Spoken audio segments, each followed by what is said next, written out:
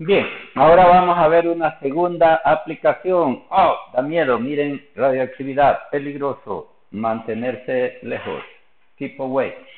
Entonces, eh, vamos a estudiar eh, como una segunda aplicación de, o ejercicio del, del potencial eléctrico el Geiger-Müller Counter, se llama, que es un, el aparatito para detectar eh, radioactividad, digamos que entonces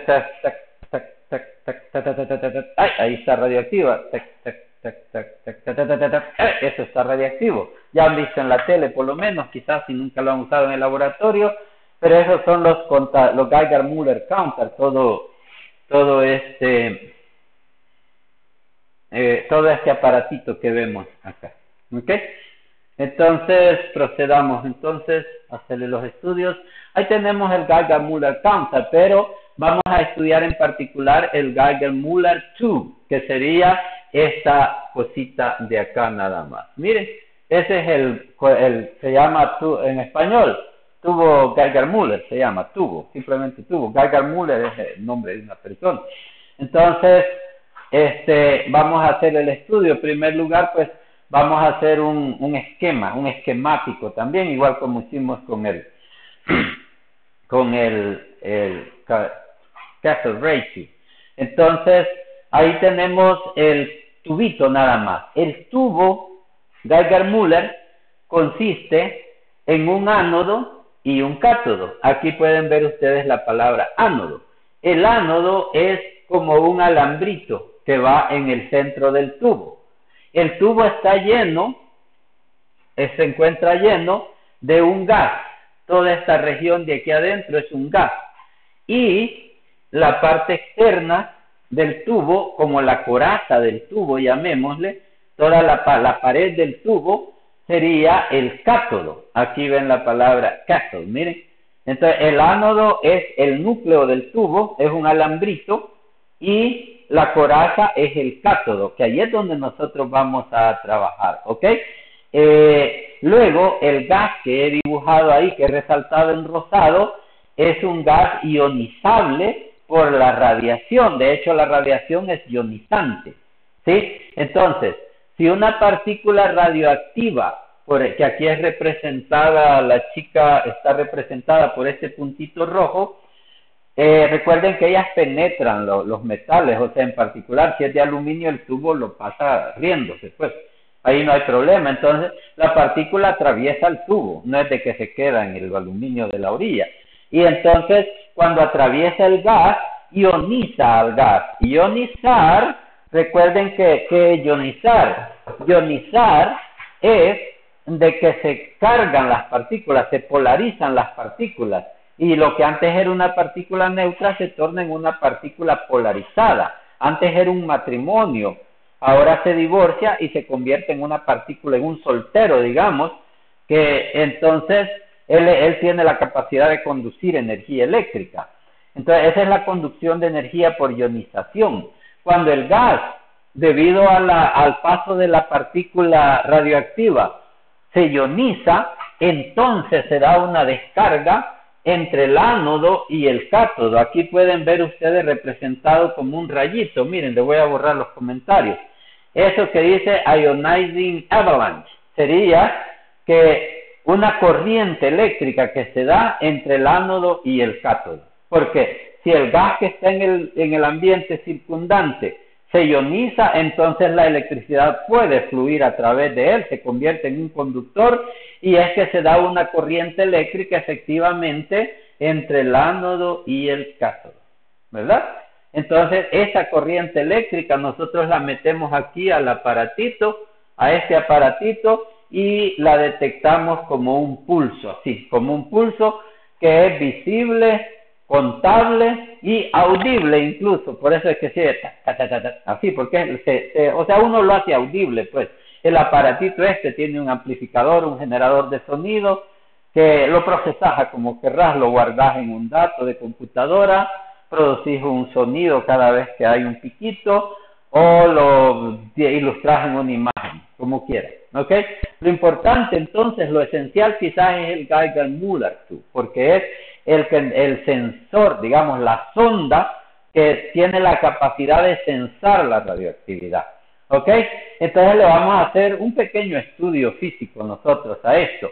¿Ok? Entonces quitemos un poco acá, esquematicemos de nuevo a nuestro tubito Geiger-Müller y en primer lugar vamos a necesitar el campo eléctrico. Fíjense, en primer lugar vamos a necesitar el campo eléctrico que se forma dentro del tubo. Como es un hilo positivamente cargado y toda la coraza está negativamente cargada, creo que ustedes tienen ya la, la idea de que si esta es la coraza y esto de aquí es el hilo, así, ya ustedes tienen la idea de que se van a formar líneas de campo radiales así, ¿verdad? Así, ¿ok? En todas direcciones. Eso hice un corte transversal. Entonces ya pueden ver ahí como un cepillo de peinar, se les decía en la clase pasada. ¿Ok?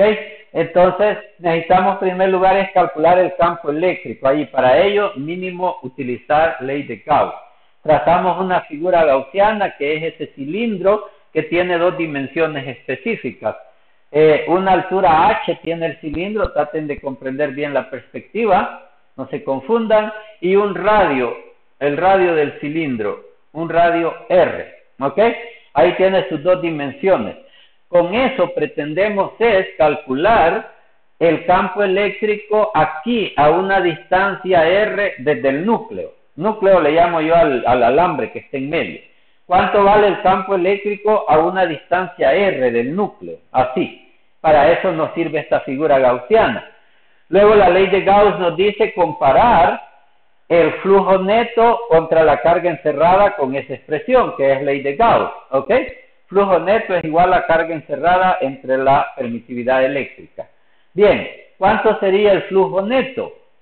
Ahí, como ya saben que es radial el campo, entonces en, la en las bases del cilindro no habría flujo, ¿verdad? Porque el campo va así, paralelo a las caras de ellos. Entonces, la única región donde sí habría campo sería acá. En toda la superficie lateral del cilindro, acá, ahí sí habría campo eléctrico.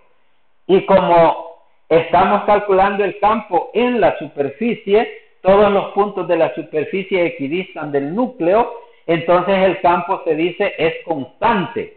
Su magnitud es constante a lo largo de todo este espacio, de toda la superficie. Entonces podríamos decir que el flujo neto simplemente es igual a campo por área. Lo, lo, vamos a sustituir y de una vez sustituimos también la carga encerrada. Miren, flujo neto es área de la superficie del cilindro, que es 2πr por h. Área de la superficie del cilindro por el campo en la posición R, que es la superficie del cilindro. ¿Ok? Esa es una constante, el campo, porque está equidistante del núcleo. Y el área encerrada sería, la, eh, la carga encerrada, perdón, carga encerrada sería eh, la carga que contiene esa porción de hilo que quedó encerrada en el cilindro. Tiene una longitud h y una densidad lambda. Entonces, esa es la carga encerrada entre la constantita epsilon sub 0 y eliminamos la h y despejamos la e, que es la única incógnita, y nos queda así. Esa fórmula suena familiar, es la misma del hilo infinito, si se acuerda. Es lo mismo, igualdad. Oiga, entonces ahí hagamos una aproximación, o no aproximación, una simplificación, digamos, que 1 sobre 2 pi epsilon sub 0, yo le explicaba que es igual a dos veces la constante eléctrica. Es igual a dos veces 1 sobre 4 pi epsilon sub 0. Y entonces reescribimos la fórmula como simplemente 2K por lambda sobre R. 2K por lambda sobre R es el campo en la posición R. Recuerden que R es la distancia del núcleo a donde estamos midiendo el campo. Es que el campo es variable. Cerca del núcleo va a ser intenso. A medida que nos acercamos a la coraza, el campo se debilita. ¿Estamos? Ahí estamos. Entonces ya tenemos el campo eléctrico. Nos interesa, ahorita sí van a ver, Eso era como un prerequisito, conocer el campo eléctrico. Oiga, ahorita les voy a explicar lo que queremos saber. Lo que queremos saber es la diferencia de potencial. Queremos calcular la diferencia de potencial que existe entre el ánodo y el cátodo. ¿Sí?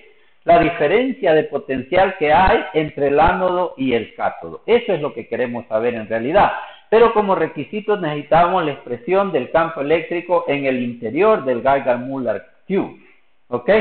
Entonces ahora tendríamos que calcular es la diferencia de potencial entre el ánodo y el cátodo. Y para eso la fórmula que tenemos es aquella de que, eh, de que potencial o diferencia de potencial era igual al producto, al negativo del producto punto campo por desplazamiento.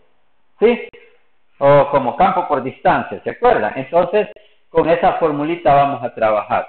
Vamos a hacer, a, tomar una vista, una ah, perdón, eh, voy a como resaltar lo de la distribución de carga, que ahí tenemos las cargas positivas en el núcleo, que es el ánodo, y las cargas negativas en la coraza, que es el cátodo, ¿ok? Entonces luego sí, eh, en la línea, he dibujado una línea de campo para ilustrar, ya esa ya las expliqué, y la vista, la perspectiva, la cámara. Entonces vamos a hacer una vista bidimensional, digamos la dimensión Z no la vamos a ver, que sería a lo largo de donde va el hilo. Entonces, ese ojito estaría mirando algo como así, ¿verdad? Eh, lo del centro sería el ánodo, ok, ilustrémoslo así, y lo del alrededor es el cátodo, ok. Voy a dibujar la línea del campo, pero la voy a dibujar sobre el eje X, porque puedo dibujar cualquiera, ¿verdad? Y ahí tenemos entonces nuestro esquemático, más simplificado todavía, de esto. Y entonces consistiría nuestro ejercicio en calcular la diferencia de potencial, decía, entre el ánodo y el cátodo. Eso es lo que queremos saber. Y para ello vamos a ocupar la fórmula que ya ahorita voy a escribir, pero quiero dar un preámbulo ahí. Miren, entonces, eh, a ver, si yo quiero el preámbulo es este. Si yo quiero la diferencia de potencial, tendría que ser voltaje en el potencial en el núcleo menos voltaje o potencial en la coraza. Vulgarmente decimos voltaje porque se mide en voltios, oigan. Eh, técnicamente, o mejor dicho, debe decirse diferencia de potencial, pero no importa, cada rato decimos así voltaje. Entonces, la diferencia de potencial sería igual al potencial del núcleo menos el potencial de la coraza, en ese orden. ¿Por qué? Porque aquí hay más potencial y aquí hay menos potencial. Por favor, esto váyanlo aprendiendo, métanselo aquí. Repito, en el núcleo hay más potencial y en la coraza hay menos potencial. Y si yo te digo, dame la diferencia de potencial de esta pilita doble A, si yo tengo una pilita por acá, vale, yo digo, tengo esta pilita acá, te digo yo, aquí está el positivo y aquí está el negativo. La diferencia de potencial de esta pila, ah, es de 1.5 voltios, me dices tú. No me dices de negativo 1.5 voltios. En la viñeta ahí dice 1.5 voltios, porque obviamente están restando donde hay más potencial, le restan donde hay menos potencial, para dar la respuesta positiva. ¿Cuál es la, ¿De cuánto es esa pila? De 1.5 voltios. Quiere decir que en la chichita la pila, recuerden así, en la chichita la pila tiene más potencial y en la parte pachita tiene menos potencial. Entonces, el 1.5 voltios está polarizado de esta manera y les voy a enseñar una nomenclatura. Está polarizado de esta manera, así, miren, así se, así se, se voladea esto. Oye, quiere decir que el 1.5 voltios representado por la, flechita con el pequeño círculo se representa en esa forma, digamos, que el piquito apunta hacia el positivo, es una forma de representar el voltaje, no es un vector, porque el voltaje es un escalar, el potencial eléctrico es un escalar, ¿eh? es el producto punto, recuerden, y el producto punto da un escalar, nada que su magnitud, es un escalar, ok, entonces decía, eh, entonces, si yo digo la pila, ¿cuál es el voltaje de la pila? 1.5 voltios, yo lo que hago es que resto el potencial en la chiquita, le resto el potencial en la partecita plana y de ahí me resulta el 1.5. Yo tengo que hacer en ese orden la resta para dar una respuesta positiva. Vale. Entonces, aquí, como si fuese una batería, la diferencia de potencial de esto va a ser el voltaje ahí donde hay más potencial menos el voltaje ahí donde hay menos potencial y por eso es que he puesto así la fórmula. ¿Ok? Entonces sería el voltaje del núcleo menos el voltaje de la coraza. Así. ¿Cómo lo voy a calcular? Voy a usar el método de que, eh, como en la grada, que me fui a A y para hallar el voltaje de B, me fui sumando los deltas, partiendo desde la base, desde A. Desde A. Entonces, como quiero el voltaje del el voltaje de aquí para allá, para acá, entonces yo tendría que venirme a la base, o sea, a la parte más baja, y de ahí empezar a sumar las, las gradas hasta llegar a B. Oigan, así tengo que hacer, me voy a la base y empiezo a sumar los voltajes hasta llegar al punto final. Me vengo a la base y me voy avanzando hasta llegar al punto final, al núcleo, así. Pero como la línea de campo la tengo radialmente hacia afuera, entonces me gustaría a mí particularmente más hacerlo en esta dirección, venirme al núcleo e irme hacia la base. Y para ello voy a hacer una modificación, miren ahí en la fórmula arriba el delta B es igual al negativo e invierto. Miren, núcleo coraza, los he invertido ahí. Los he invertido, miren. Porque yo lo que quiero es voltaje de la coraza menos el voltaje del núcleo para poder avanzar en esta dirección. Por graditas, yo quiero partir del núcleo para ir a favor de la línea de campo. Aquí ves. Yo eso es lo que quiero. Por eso es que he invertido acá, porque a mí así me gusta irme en el sentido de la línea de campo, quiero irme en el sentido de la línea de campo. Entonces, yo quería es calcular voltaje de coraza menos voltaje de núcleo. Entonces, para eso he invertido lo que tenía arriba y le antepongo el signo menos y ahí la guardo la fórmula. Oigan, con esa fórmula vamos a trabajar y vamos a calcular voltaje de coraza menos voltaje de núcleo. Y lo que nos esperaríamos es un voltaje negativo, obviamente, ahí van a ver. ¿Ok? Entonces, el delta B es igual a menos E punto delta L. Eso es la fórmula que la traje de la copia. ¿Se acuerdan que les dije? Esta guárdenmela ahí en la copia. Aquí la tenemos. Nada que ver con lo de arriba. Esto es como la fórmula a utilizar. Esa es la fórmula que vamos a utilizar para los saltos de potencial. Para los saltos de potencial. ¿Sí? En este caso, no podemos hacer un solo paso para hallar el salto de potencial desde aquí hasta acá. No podemos hacer un solo paso por una razón. Y es que cuando se dice campo, cuando se dice campo, entonces, ¿cuál campo? Si aquí el campo es bien intenso y aquí es más débil. Y el, en medio, el campo es una variable. Entonces, no podemos, igual que en los problemas de trabajo con fuerza variable, hallar el, la diferencia de potencial de un solo paso, multiplicando campo por longitud, por desplazamiento. Campo por desplazamiento no podemos porque el campo es variable a lo largo de esa línea, que es donde queremos hacerlo. entonces hay necesidad de hacerlo por integración. Y lo que se hace es convertir esta fórmula finita a una fórmula diferencial, cambiando los delta por los d. Así, y procedemos. Y nos queda así, miren, dv, dv es igual a menos c dl, desplazamiento diferencial.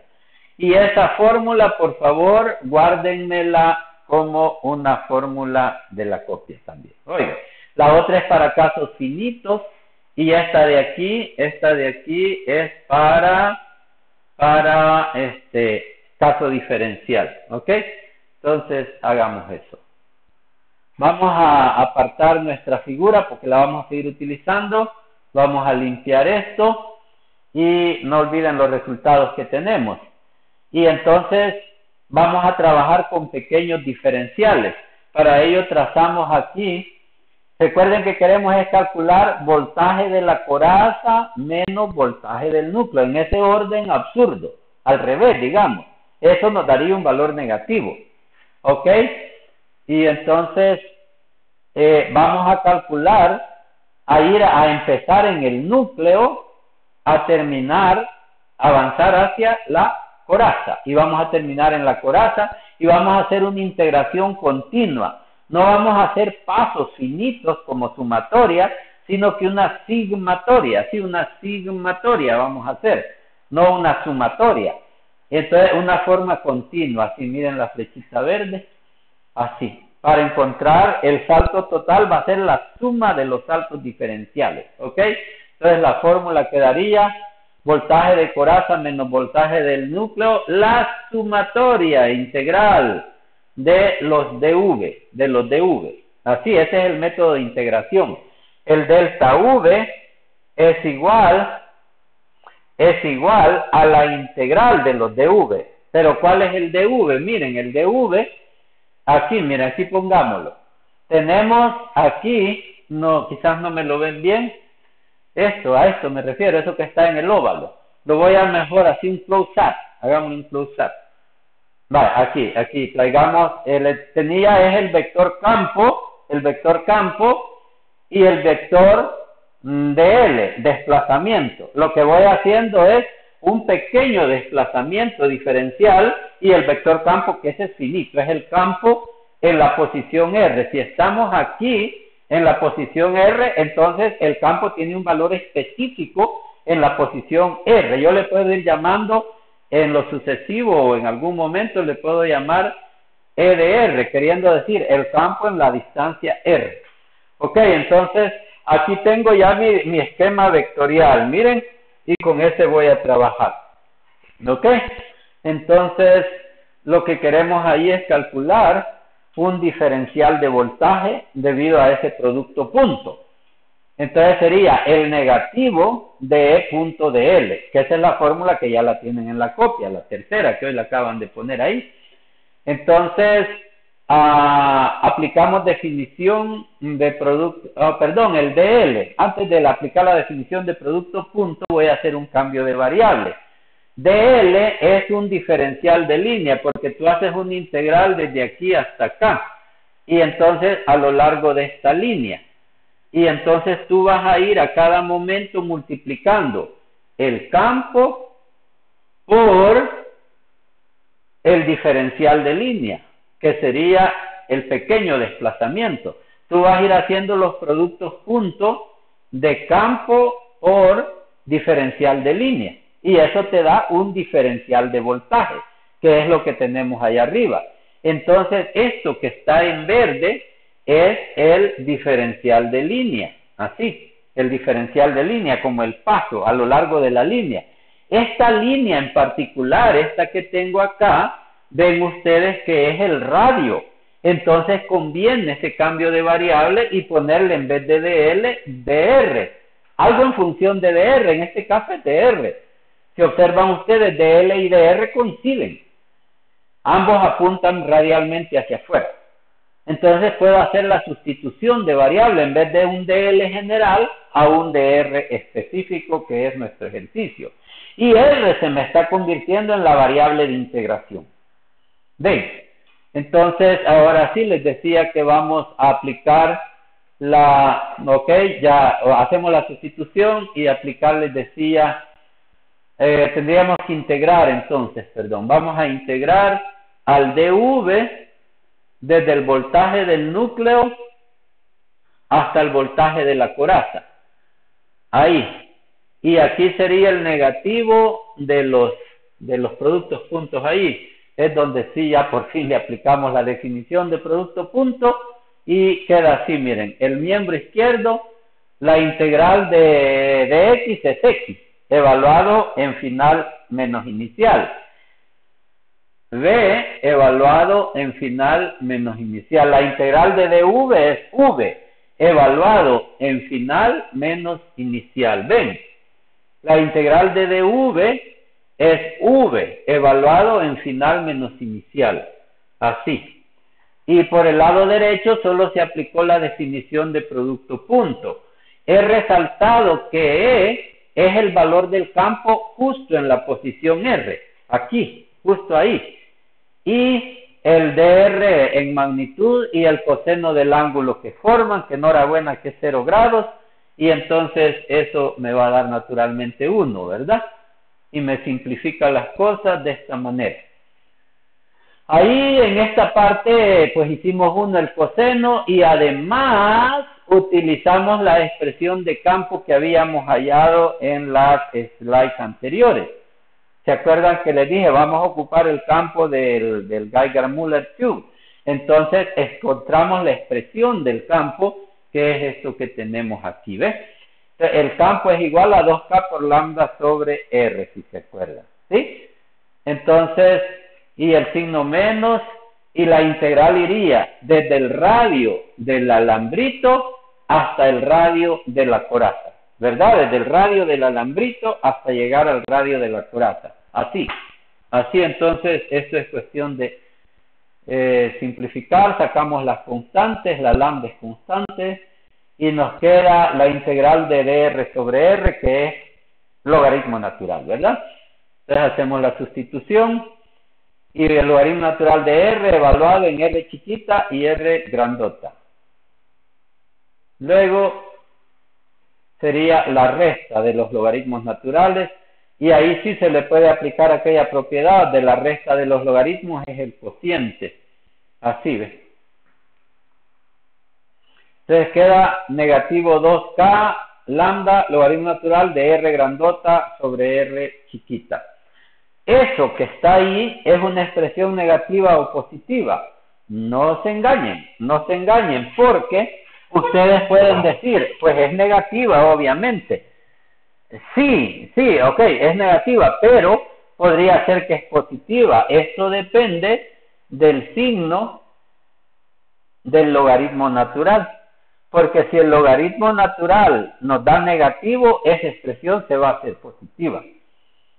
Pero en este caso, en este caso, el radio de la coraza es mayor que el radio del alambrito. Entonces el logaritmo natural va a dar positivo y toda la expresión va a ser negativa tal como les había advertido porque lo hemos hecho al revés. En vez de irnos de abajo a avanzar hacia arriba, de menos a más, de menos a más, en vez de hacerlo así, hemos hecho un recorrido al revés, hemos recorrido de más a menos, así recorrimos, ¿se acuerdan? Entonces ya yo sabía, pero yo lo quería hacer así a favor del campo. Lo pueden hacer de la otra forma si quieren, traten.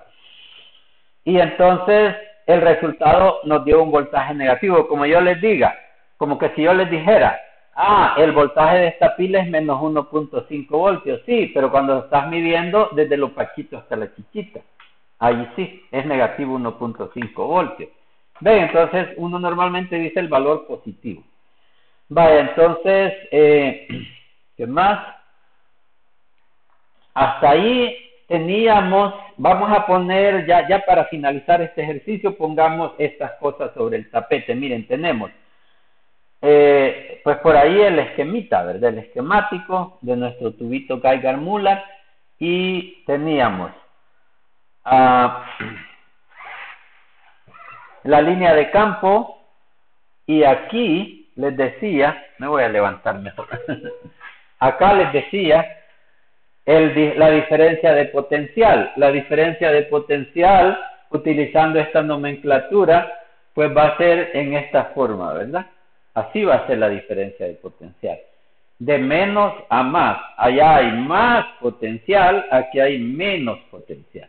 Entonces es ese circulito flechita, así. El potencial apunta así. Aquí observen ustedes de que el potencial apunta al contrario del campo y eh, si les hago una pregunta falso o verdadero, el potencial siempre apunta al contrario del campo verdadero, siempre, así es, eso siempre así, oye, porque el potencial este, sube a medida que tú te trepas en el campo, o sea que vas en contra del campo, así sube el potencial. Vaya, entonces eso acá en expresión, lo que hemos encontrado, esto es la, lo que acabamos de hacer, el potencial en la coraza menos el potencial en el núcleo, cosa que está al revés, nos dio negativo 2K lambda logaritmo natural de, oh, perdón, ahí me falta la R, la R minúscula en el denominador y creo que me va a faltar en las expresiones que siguen. Entonces, eh, salve el, el,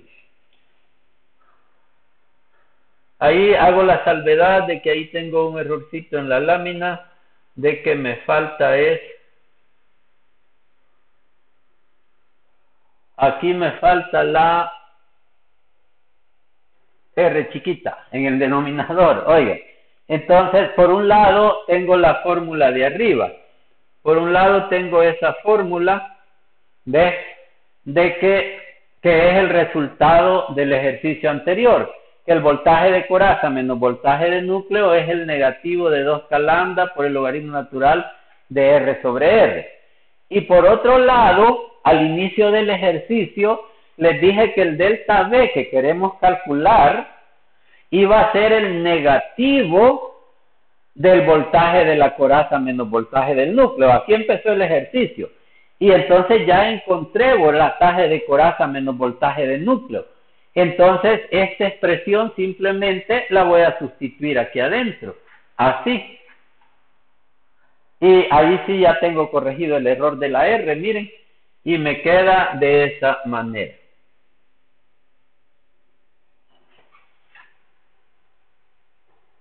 Sobre R, ahí arriba, para que no se vea mal. Entonces, me queda así. Es lógico que yo puedo aquí cancelar los signos y me quedaría la expresión de esta manera. ¿Sí? Así me queda la expresión, conservando la R ¿Verdad? De que el,